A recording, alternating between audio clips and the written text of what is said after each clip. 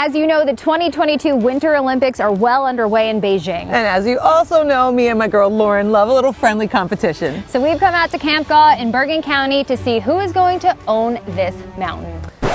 Or Bunny Hill. Bunny Hill. Yeah.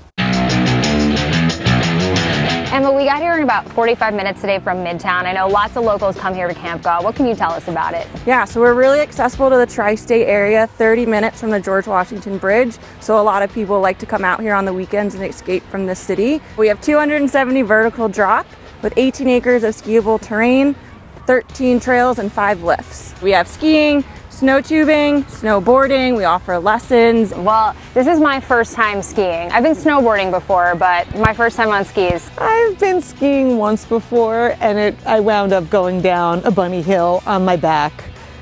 Yeah. We just want to wish you luck today. Challenge accepted. Terminology. Up. Up, Down. down, and across the hill. We're Manhattan girls. We got like uptown, downtown. We got it. Tell me north, Cross- south, crosstown. west, east, we. You know, I am taking this seriously. I hope. We're gonna get you skiing by the end of this day. So for your pizza, you're gonna just spread the back of your heels. Perfect. That's natural. We understand pizza and fries. I don't know. This could get ugly. Imagine you have a doorbell under your big left toe. And then as you go down, you're gonna put all of your weight on that big toe, press it really hard. And you see how my left feet automatically starts to turn? Okay. Oh, she's getting in. Ah, whoa. Jeez. Oh, oh. Ooh, pizza. Look towards the trees now. Make your pizza. Big right toe, arms out where you wanna go. Big right toe energy. Bring it. You got a big toe. You Keep got a big toe. Nice. Big toe. I'm coming for you. And then make a pizza so you don't hit her. Pizza. Now we're gonna put the competition to the test, channel our inner Olympic skiers, and we got a blue course and a red course, so we're each gonna choose one, and we're gonna go around each of the brushes fast and in control. Three, two, one, go! I'm a skier. I'm a skier. Oh, pizza. Pizza. You leaned!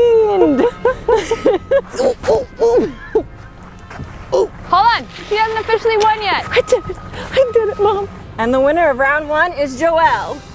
How? I Slow really don't steady know. wins the race, people. Lauren, you still have one more chance. We're gonna up the ante and add another element to our race course. Okay. Only thing, I was a waitress. I see the element. I was only a bartender. Three, two, one, go! Shoot, I just some. Remember, look where you wanna go. I want to go there. And we're going there. Come on. Ooh, hard turn, hard turn. Pizza. Ooh. Later, waitress. And round two goes to Lauren. So our tiebreaker is going to the snow tubing hill. All right, safe to say we will not be coming for Team USA. Yep. But we are going to go for the gold in tubing right now. That we could do. Yes.